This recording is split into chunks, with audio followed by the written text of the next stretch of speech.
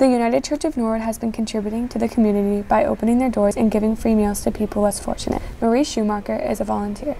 I think we have about 35 to 40 people on a regular basis. We're getting more of an interest, and I think it has to do with the sign that the pastor has put out on the front lawn. The pastor, Kevin Smith, says the experience of volunteering has been life changing. It's really very um, special opportunity to, uh, to touch another person's life.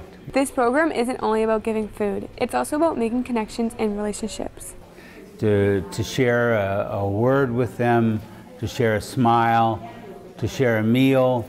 Just, I mean, we serve food and that's important and people want to eat, but uh, it's really more about just human contact. Not only that, we try to provide companionship Schumacher and Smith say the Wednesday program is rewarding, but it can still be challenging. Some people are in the kitchen and uh, they enjoy serving. Other people like to uh, hang out in the uh, dining room with the, with the folks, with the guests, with the visitors, and they like to sit down and talk. Some people clean and not only have they created relationships with the people they are feeding, but the volunteers have all grown together to create one big happy family.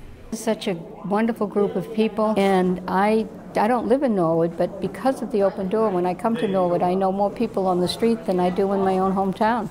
If you're ever looking for an opportunity to volunteer in our community or to put a smile on someone's face, Open Door Meals is always looking for anyone to help better our community with this program.